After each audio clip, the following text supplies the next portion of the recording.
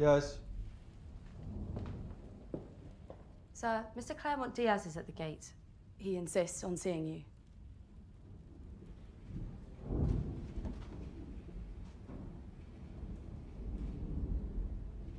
Can we please talk? I'm going to let you say what you need to say, and then I'd like you to leave. What's going on, Henry? A week ago, we were happy, and then you disappear without saying a word? I think you at least owe me an explanation. I have done nothing but explain myself to you this past year. I don't know what more you want me to say, and I don't appreciate you barging in here in the middle of the night. Oh, I'm sorry I can't turn my feelings off as easily as you. Do you honestly think this is easy for me? What else am I supposed to think? You won't talk to me.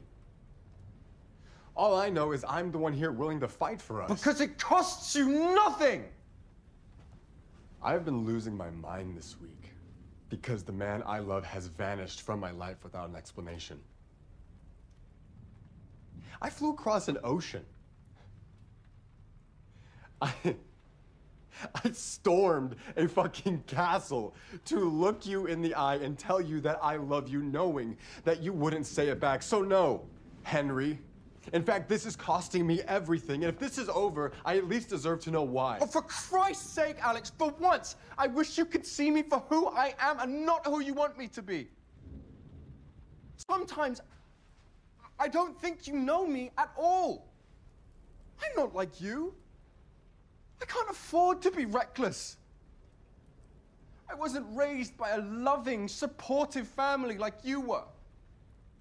I've centuries of history bearing down on my shoulders. My life is the crown, and yours is politics, and I will not trade one prison for another.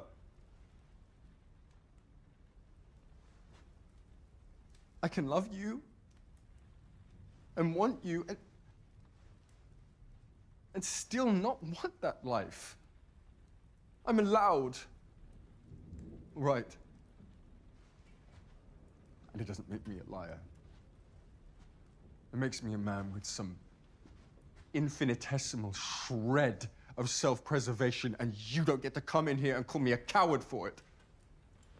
Oh, I would never call you a coward. We can figure out a way to love each other on our own terms, no one else's. That is simply not possible, and you know it.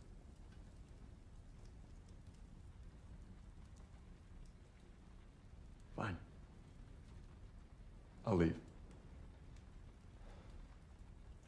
And you can live in your tower and protect your heart for the rest of your life, and nothing will ever happen to you. But, Henry,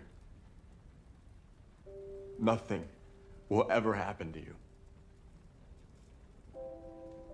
So, if you want me to go, you have to tell me to leave. Please. Don't make me.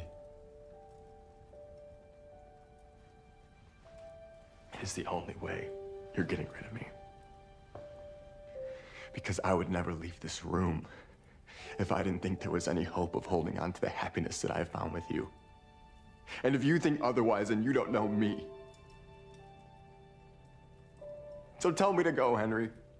And I promise I will walk out that door and trouble you no longer. Wait.